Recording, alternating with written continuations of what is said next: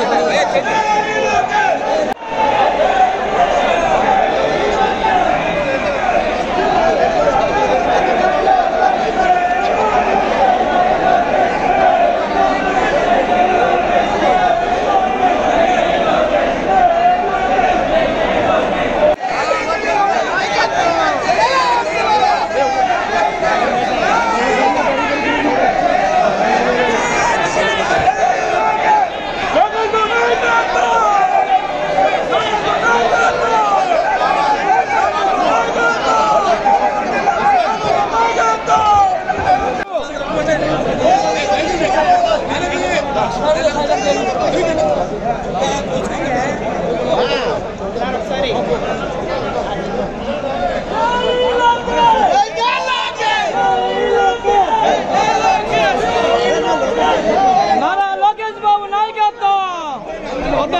ನಾರಾಯಣ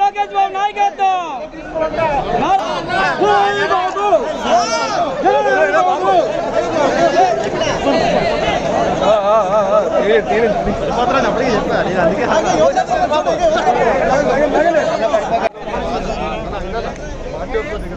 అది కోర్టు కింద పార్టీ వస్తుంది పార్టీ వస్తుంది